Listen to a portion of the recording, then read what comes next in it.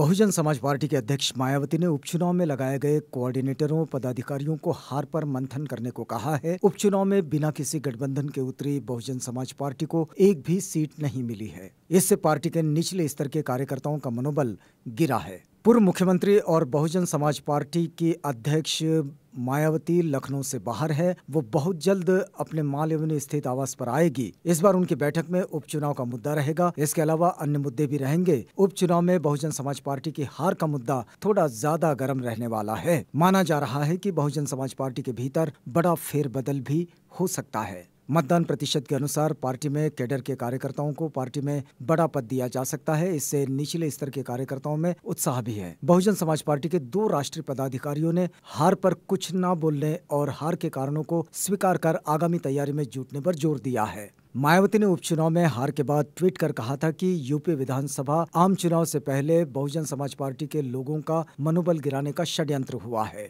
Bharatiya Janata party द्वारा इस उपचुनाव में समाजवादी पार्टी की कुछ सीटें जिताने व बहुजन समाज पार्टी को एक भी सीट नहीं जीतने देने को पार्टी के लोग अच्छी तरह से समझ रहे हैं। वे इनके इस षड्यंत्र को फेल करने के लिए पूरे जी जान से ज़रूर जुटेंगे। इसके अलावा महाराष्ट्र और हरियाणा के चुनावी नतीजों पर भी चर्चा होने की संभावना है।